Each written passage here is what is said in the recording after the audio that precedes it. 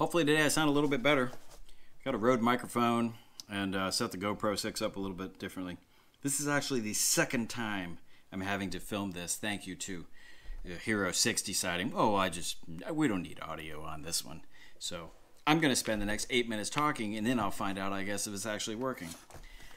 Do not buy a GoPro. From what I understand, the company actually might very well be up for sale because by now what they've done is they've pretty much driven it into the ground.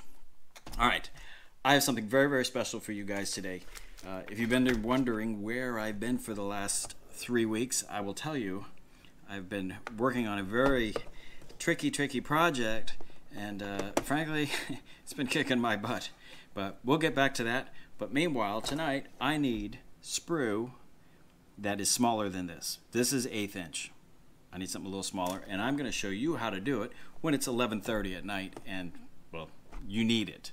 So, how many of you, be honest, because I know you guys lie.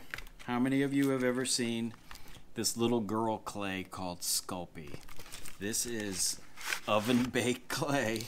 You uh, shape it into hearts or a little dog or whatever, strawberry, and you make yourself some earrings or whatever. This is how they do it. I don't know if they trade them or whatever, but they make it out of this stuff, and then they take and they cook it in the oven. The stuff gets hard. It's basically plastic, is all really all it is. Well, in the section where they sell this, they sell a tool which you need. This isn't going to be a review. I'm not going to do an unboxing. There's a thousand of those videos on YouTube. I'm not going to waste your time. But I'm going to show you how this right here will turn this into something pretty much whatever you want. So with that, let's jump up close. Let's uh, take a peek at it and uh, we're going to poop out some skinny wax. All right, here we are, down and dirty, up close. I don't know what this thing is called. Uh, the, the walnut knob or the walnut hill or no, they, they have a whole bunch of different different ones of these. This one is what my local store had. Uh, you have lots and lots of little uh, dies in here, but they're very, very thin. So you can't really put a whole lot of pressure in them or you're going to blow them out. Uh, you can make a, a circle, a triangle, you can make a rectangle, you can extrude a dog, or even some uh, hair for your doll. What I want is something smaller than we have right here. So let's take a peek through here at our options and uh, here we go. It's pretty safe to say that that is probably the die if I was going to make this size. But I want something smaller. So yeah, I, I, already cheated. You can see I've already got these three already dirty. I told you I had to, had already do this video once before. Now here's this, the trick in order to make this thing do this.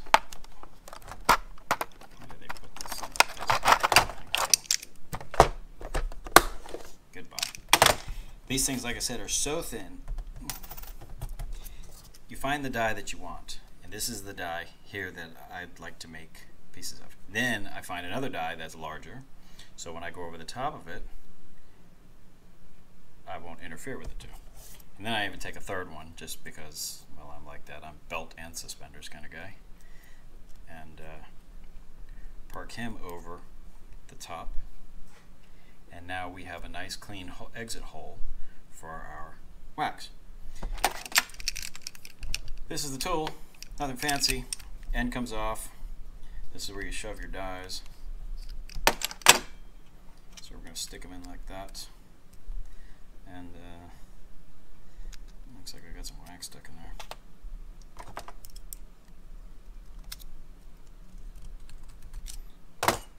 Watch Jay clean his tool.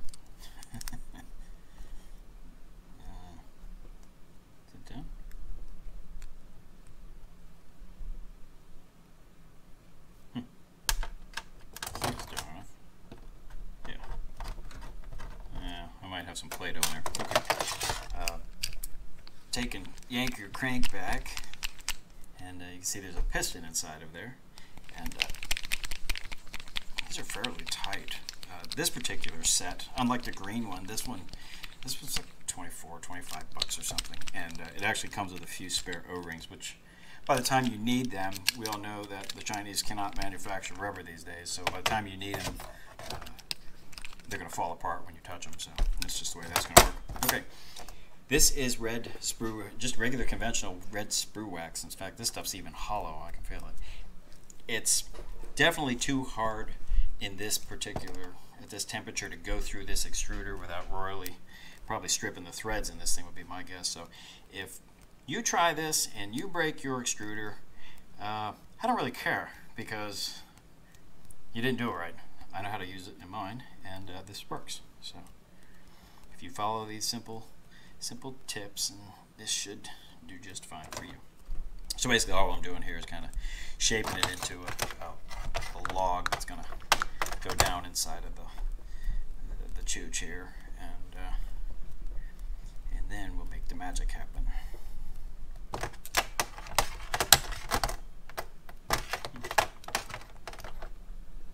Yeah, that's going to work. That's going to work. Bring on Harbor Freight, the master of the drills. Uh, heat gun, eight bucks. Stick it on low.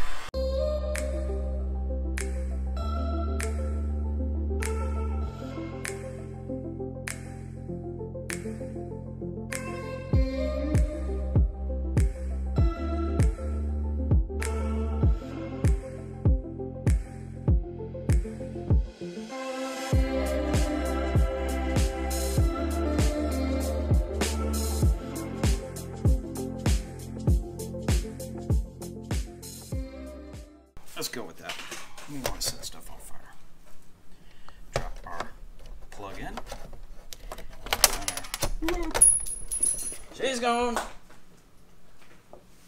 Here's back. One, two, three.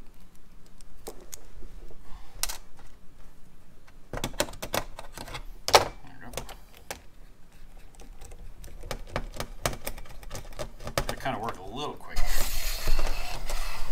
All right and then just crank try to crank nice and steady and uh, yeah there's definitely some air in that but uh, that's okay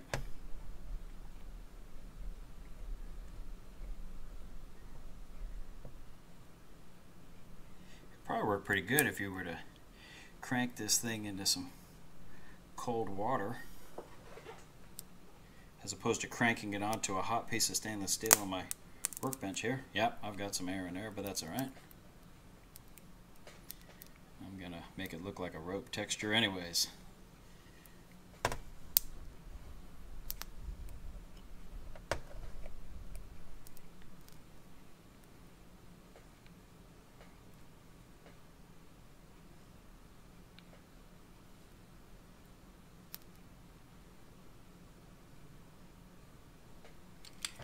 And that, my friends, is Officer Rope.